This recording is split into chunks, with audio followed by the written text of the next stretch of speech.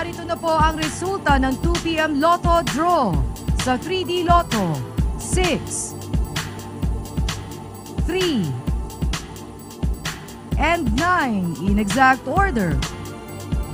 Sa 2D Lotto, 23 and 7 in exact order.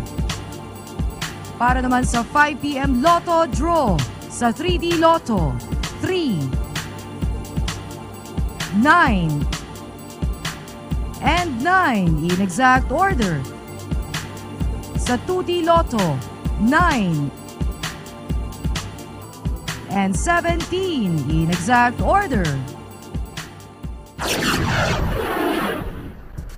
Sa mga ngayon lang po nag-tune in, uulitin na po namin ni Eric ang mga resulta ng ating 9pm draws. Umpisahan po natin sa 2D Lotto winning numbers. We have Kasi para doon sa mga nakikinig na talagang sinusundan yung mga resulta. Okay, Okay, dahan-dahanin lang natin. Good luck po sa inyo. For the 2D Lotto, we have 27 and 2 in exact order. At para naman po sa 3D Lotto, the winning combination is 0, 7, and 7 in exact order.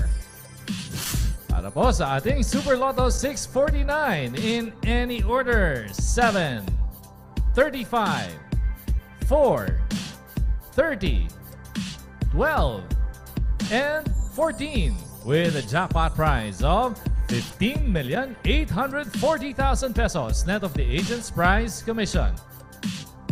At sa atin pong Ultra Lotto 658 in any order 15, 2, 20, 57, 19, and 10 with a jackpot prize of 49 million 500,000 pesos net of the agent's prize commission. Okay, Eric, excited ka na bang malaman kung may jackpot winners tayo? Siyempre.